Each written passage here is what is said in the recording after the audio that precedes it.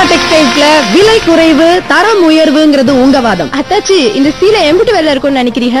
ரெண்டாயிரம் ரூபாய் இருக்குமா? வெறும் அறுநூறு ரூபாய் தான் இது. குடும்ப அமௌண்ட்டுக்கு துணி எடுத்தோம் மூவாயிரத்துல முன்னூத்தி ஐம்பது ரூபாய் மிச்சமாச்சு.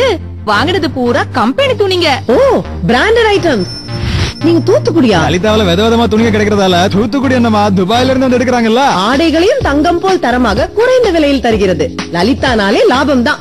உங்களுக்கு? லலிதா டெக்ஸ்டைல்ஸ் தெற்கு மாசி வீதி மதுரை.